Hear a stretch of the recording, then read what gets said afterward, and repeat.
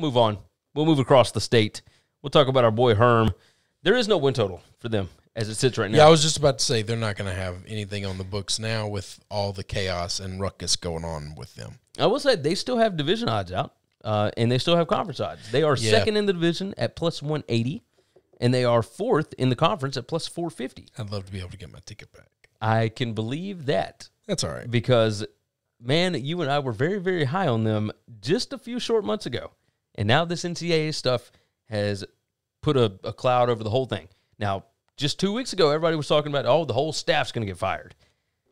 Nothing's Listen, happened yet. if Herm can survive until game week, it not just Herm, but Antonio Pierce and, and that whole bunch I that's think there. I think we're okay. I I, think so actually think I think I actually think there's a chance that I might be okay I think so too. I think so too. because that guy's going to be able to get his team ready for Saturdays. Went eight and five in 2019, two and two last year, number 29 in the country in returning production. They bring back 84 percent of their production from last year. SP Plus has got them going. Uh, it's 9.5 and 2.5, so either nine and three or 10 and two, one or the other.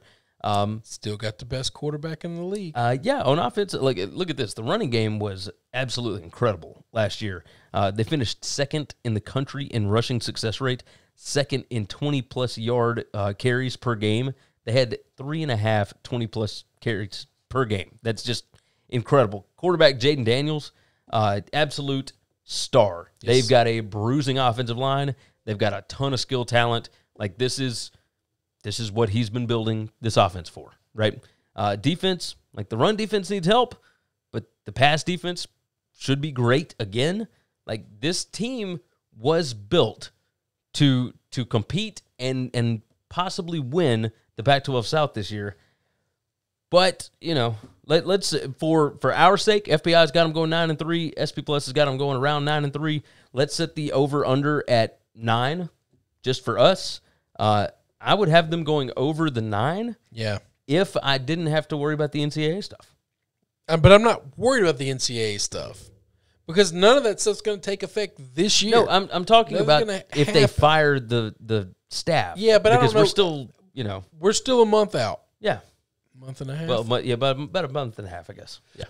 if they can survive the next six weeks, I think we're fine. And if so, like if the if the But staff we're is giving there, you I'm that going over. information now, though. Yeah, If if for some reason this entire coaching staff turns over, then then I would go under the. then. I'm changing. I'm changing my opinion. But also the the win total would switch. Yeah, So, the win total is not going to be that if Yeah. whenever it hits a, hits a hits a book. So Yeah, I, be, I believe when it first came out before the NCAA stuff hit, I think it was eight and a half. Um, if these guys can make it one season, I think they can actually do something really special.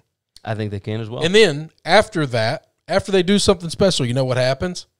They just give the finger to the NCAA and say, "We don't care. Yeah, We're keeping this thing together. We're figuring this thing out." The the Just only do it. game where they are projected to uh, be an underdog by more than a field goal is at Washington. That's the only one. Yeah. So that's the only quote unquote likely loss on the schedule. Well, and that's and that's a situation where i if you win all the rest and lose that one, then you're at least playing for the championship. You got it. You got it. So yeah, I think it's going to be interesting. I think it's going to be interesting. Thanks for listening to the Winning Cures Everything podcast. The website is winningcureseverything.com, and if you want to connect with us, we're on Twitter at Gary WCE, at Chris B. Giannini, at Winning Cures, or you can email us, Gary at winningcureseverything.com or Chris at winningcureseverything.com. Subscribe everywhere you need to subscribe, and we'll see you soon.